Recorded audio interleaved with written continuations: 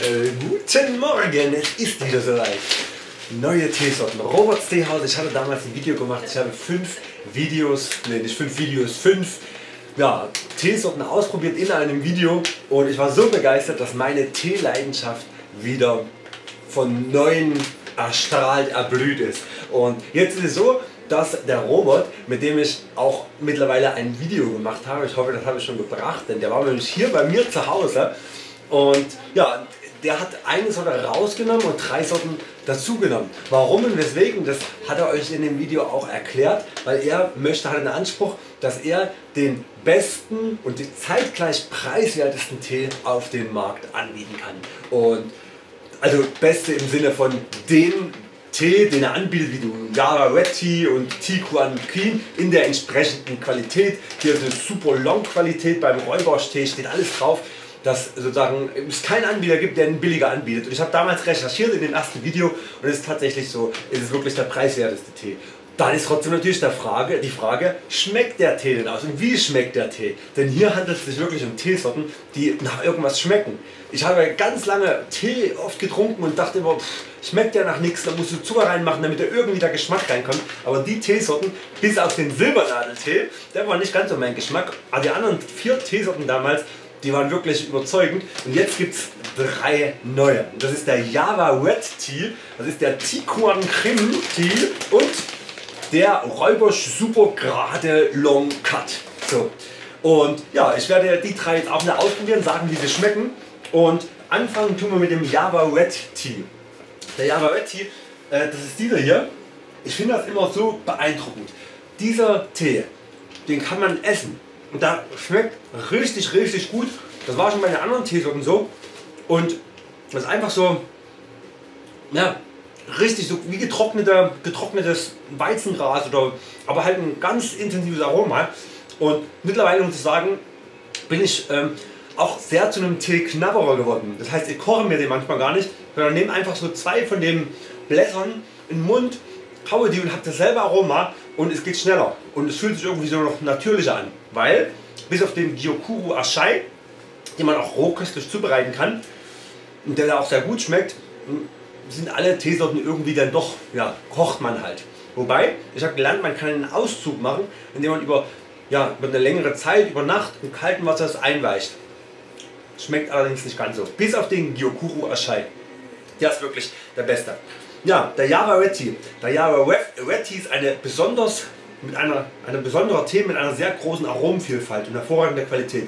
Er wächst im kühlen Klima und der reinen Luft des Hochlands der indonesischen Insel Java.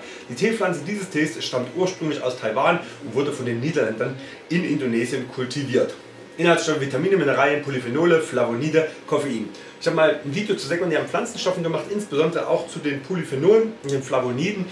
Ja, schaut einfach bei YouTube. Keine Ahnung, ob ich dran denke zu verlinken.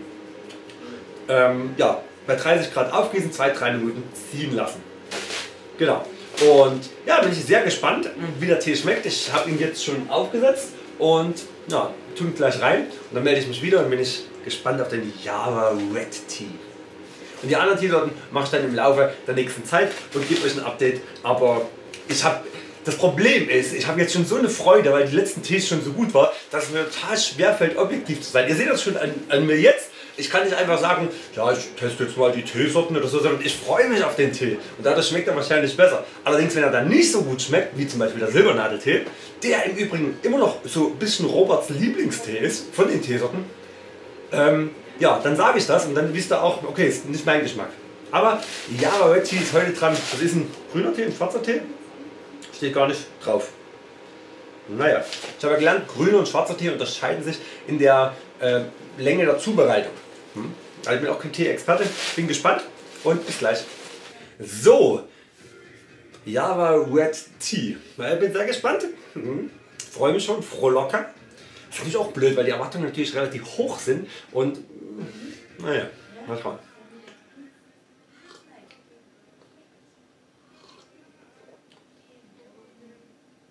Boah, der hat so ein leichtes Vanillearoma irgendwie so. Das ist echt gut. Da ist, der hat so ein, so ein, ich will nicht Vanille sagen, weil es nicht direkt Vanille ist, aber so was ganz, ganz Weiches, was, mh, nicht Karamell, aber so. Oh, der riecht. Also, ich sag einfach mal, also ich bin jetzt wirklich, äh, bin ich nicht sicher, aber ich glaube, der schmeckt mir sogar noch besser als der Gyokuru Ashai. Also der ist wirklich richtig, richtig mild, lecker, aber trotzdem intensiven Geschmack. Die Bitternote, die beim Tee halt immer da oder oft da ist, die ist fast gar nicht existent hier. Und obwohl ich den 5 Minuten trinken gelassen habe, statt 2 bis 3 Minuten, weil ich es einfach vergessen habe. Und also absolute Empfehlung. Und der Geruch also echt Hammer. Also ähm, ja, gibt äh, volle Punktzahl für den Tee und ja, jetzt mache ich erstmal die Tüte alle beziehungsweise trinke erstmal den Tee und wenn ich den nächsten Tee dann wieder habe, dann melde ich mich wieder. Also volle Punktzahl für Java Red Tea oder wie der hieß. Ähm, ja, und ja, wir sehen uns beim nächsten Tee wieder. So, und nun ist der Räubersch-Tee dran. Das ist der zweite Tee. Der erste, da war ich wirklich schlichtweg begeistert, mein neuer Lieblingstee. Und nun Räuberstee. Das ist ein Tee, der kein Koffein enthält. Das heißt für viele Menschen, die es mit Koffein nicht so haben, wahrscheinlich sind die erste Wahl. Sehr gespannt. Ich habe den sechs Minuten, oh, ich habe den sechs Minuten ziehen lassen in kochendem Wasser.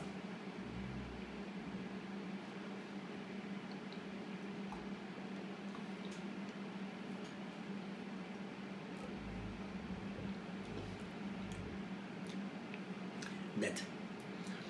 Ich würde sagen nett. Schmeckt nett. Ja. Also für mich jetzt irgendwie. Ich mag wahrscheinlich eher so die grünen Tees oder so, keine Ahnung. Äh, jetzt für mich ähnlich wie der Silbernadeltee. Jetzt ist es nicht so meins. Räubersch. Also man schmeckt was, das ist schön. Aber was ich schmecke, das schmeckt mir nicht so. Also Räuberstee wäre jetzt von meinem Geschmack her in meinem Geschmack sich oft wiederfindet, wäre jetzt keine Empfehlung, aber naja, muss ja nicht. Und von daher, ja, zweite Tee nicht ganz so gut. Der erste ist top, der Räuberstee ist ja, gut. auf ein letztes und auf ein drittes. Das ist heute der dritte Tee. Wow, fuck, der ist dann heiß.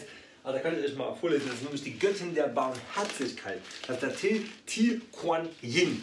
Und Ti Kuan Yin ist eine Varianz des Teestrauchs. Der Name bedeutet so viel wie Göttin der Barmherzigkeit und stammt aus dem im Südosten Chinas, aus der im äh, Südosten Chinas gelegenen Küstenprovinz Fujian. Er gilt als eines der zehn besten Tees aus China.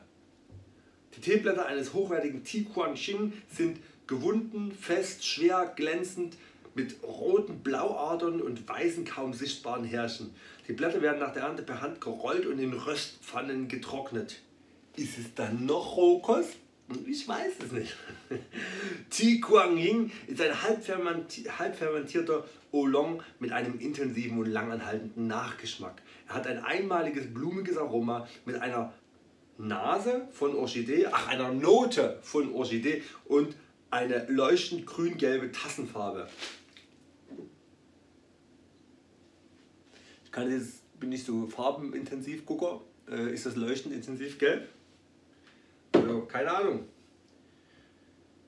Äh, außerdem entwickelt er einen herrlich duftenden Ausfluss. Ach nee, Aufguss.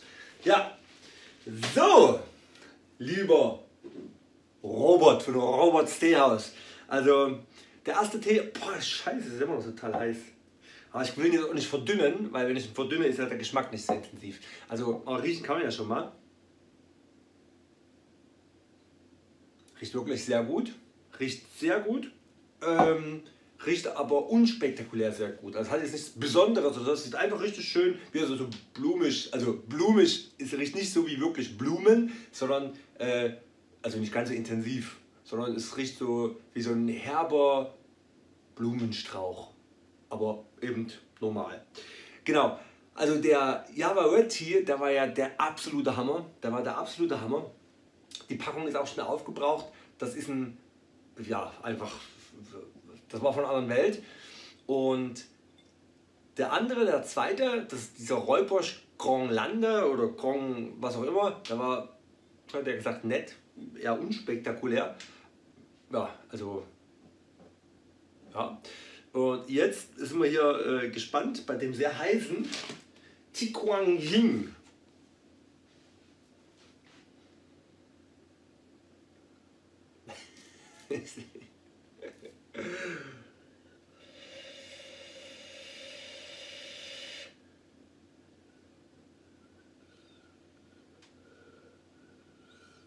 Ich traue mich nicht zu trinken, das wird zu heiß.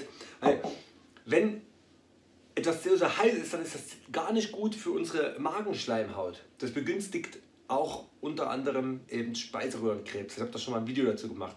Von daher, ja, würde ich sagen, melde ich mich erst dann wieder, wenn ich noch trinken kann, weil es macht keinen Sinn. Ich tue jetzt nicht vor YouTube mir was Heißes hier reinziehen und von daher, wir sehen uns gleich.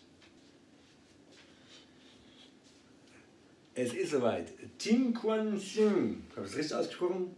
Nee, Ying. Ti Quan Ying. Ich bin sehr gespannt. Der dritte Tee, einmal mega geil. Der Java Red Tea, einmal ja, normal. Und jetzt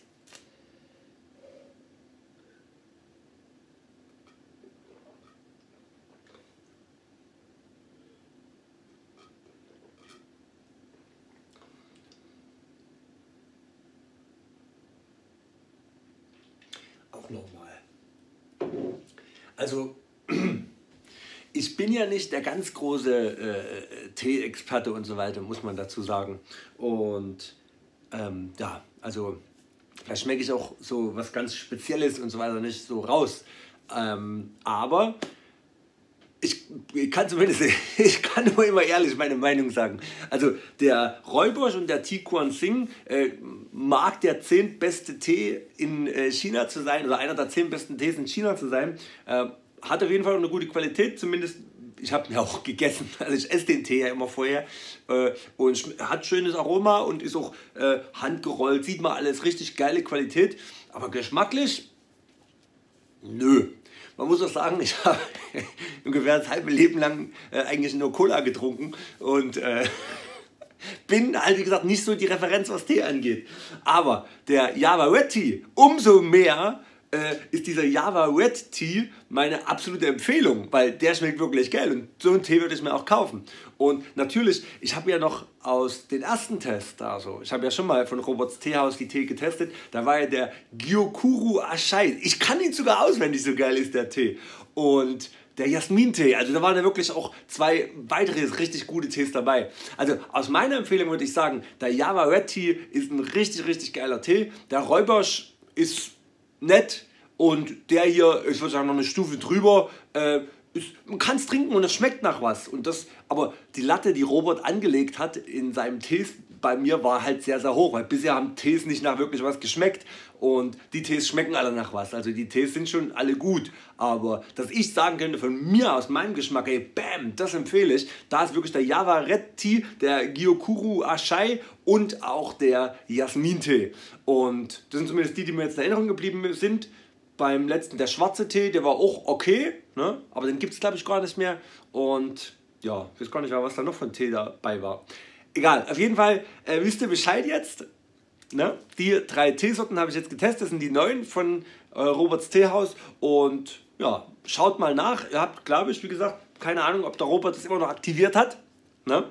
Ähm, diese kostenlose Lieferung, wenn ihr auch selber testen wollt. Müsst ihr einfach mal fragen. Der Code war, glaube ich, Christian oder war Spirit. Keine Ahnung. Von einem Jahr haben wir das mal ausgemacht. Aber gut, ich weiß es nicht. Auf jeden Fall, ja, zu Weihnachten würde ich sagen Java Red Tea. Ähm, und wünsche euch äh, viel Freude beim Ausprobieren. Damit soll es das hier gewesen sein. Und ich werde jetzt meinen äh, Ging Sung Yong austrinken und ja, werden ein bisschen Süßstoff reinmachen. Das intensiviert den Geschmack dann doch bei Tees, die halt nicht an sich so, wo ich sage, bam.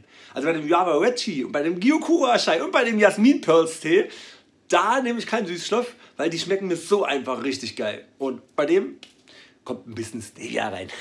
Also dann, ich wünsche euch einen wunderschönen schönen Tag, wunderschönes Wochenende. Wir sehen uns dann beim nächsten Video. Euer Samu.